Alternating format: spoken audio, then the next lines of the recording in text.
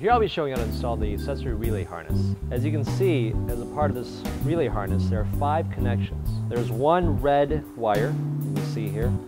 This is the power wire that needs to connect to the battery. There's a black wire here for the grounding. And then there's two male plugs, oval plugs, that will plug into each ballast. And lastly, one female oval plug that will plug to the signal connector of the vehicle uh, via one of our wiring.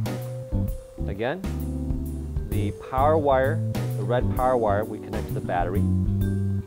There's an inline 20 amp fuse. And then the grounding wire, we connect to a metal contact.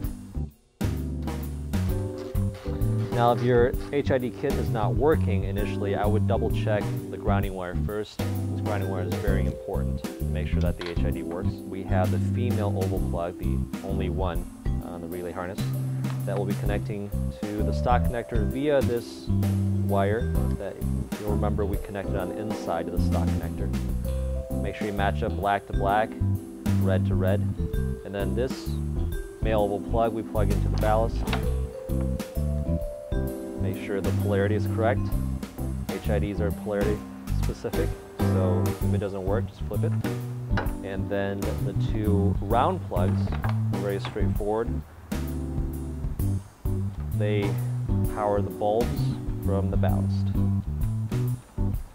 Now do the same thing on the passenger side. And what we'll do next is test the bulbs and make sure everything's working. And then once that's done, we can tidy up the wiring and uh, finish up the installation.